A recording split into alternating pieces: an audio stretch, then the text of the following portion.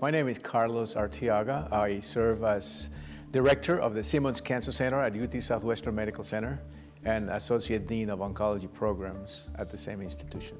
Uh, my name is Carlos Gil Ferreira. I'm a medical oncologist. I work with research in the lung cancer field. I'm the current president of the Oncoclínicas Institute for Research that is based in Rio de Janeiro, Brazil. The mission of the AACR is to enhance cancer science throughout the world, really. And one of the initiatives of our strategic plan is to also do that in uh, regions out, outside the U.S., including Asia, Latin America, Canada, Africa, etc. I was uh, charged with leading a Latin American initiative the year I served as president of the association. So this meeting in Sao Paulo is the second uh, AACR Latin American Translational Cancer Medicine meeting.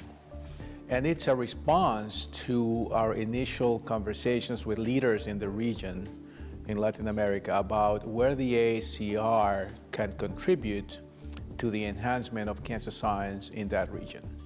The message we got was that we can contribute to what they see as translation between the bedside and the bench.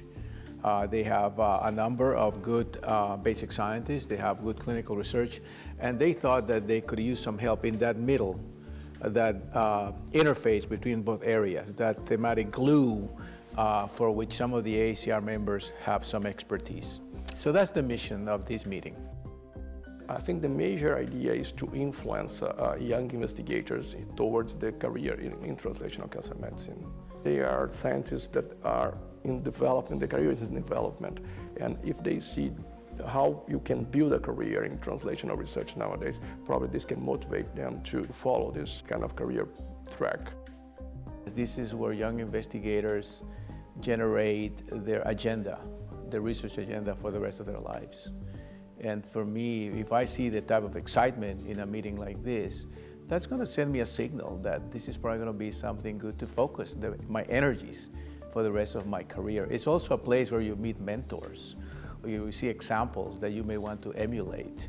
And you get updated with the latest there is in cancer research, and you get informed also of what are the trends, what are the significant trends that we would like to focus in so they can focus their career in those aspects. In Brazil and Latin America, there is a gap between what basic scientists do and what uh, uh, clinical scientists do.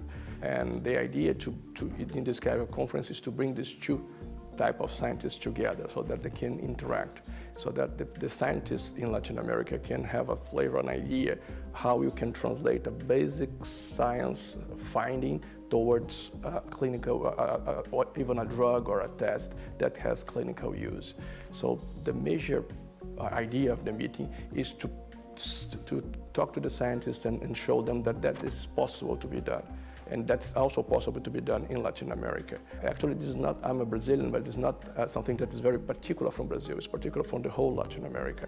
Dr. Gabriel Rabinovich, that's the other chairperson of the meeting, has faced the same problem in Argentina. And we have talked to colleagues in other countries, the situation is the same.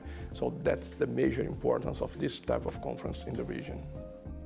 There is a lot of tradition in basic science in Latin America and some tradition in clinical science, but no tradition, no tradition in the translational field. And that has many reasons. And one of the reasons is because there is no major discussion about that over the years.